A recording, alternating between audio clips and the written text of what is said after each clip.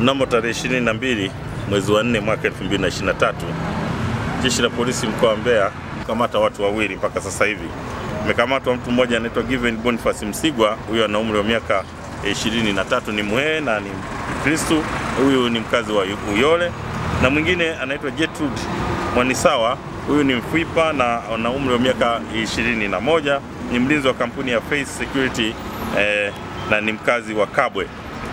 Livunja store na kuiba kwenye store ambayo ni inamilikiwa na NGO moja ambayo inajulikana kwa jina la Achieve iliyoko maeneo ya Manyanya kwenye kata ya Nsalaga e, tarafa ya Iunga katika e, wilaya ya Mbeya.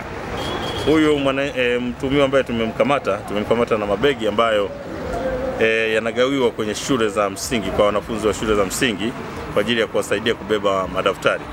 Kwa sababu hii NGO inatoa msaada huo, huyu mlinzi awali alikuwa ni mfanyakazi katika eh, NGO hiyo, alikuwa ameajiriwa, lakini baada ya kuonekana kwamba ana matatizo kidogo katika utendaji aliondolewa, na baada ya kuondolewa basi alirudi na akijua kasa kwamba ile NGO inatunza sehemu gani vifaa vyake, basi alifika kaiba. Vilivyokwisha kamatwa ni vingi, lakini pia ameuza baadhi ambazo mpaka sasa hivi jeshi la polisi linaendelea kufuatilia kupitia kikosi chake cha ufuatiliaji wa matukio haya ya uvunjaji. Kwa hiyo pindi tukikamilisha, tutaweza kufikisha mahakamani. Toa wito kwa wale ambao wamekwisha uziwa mali hizi, mabegi mabegi haya wajisalimishe, aidha wayalete katika kituo cha polisi au kwenye ofisi ya kamanda wa polisi.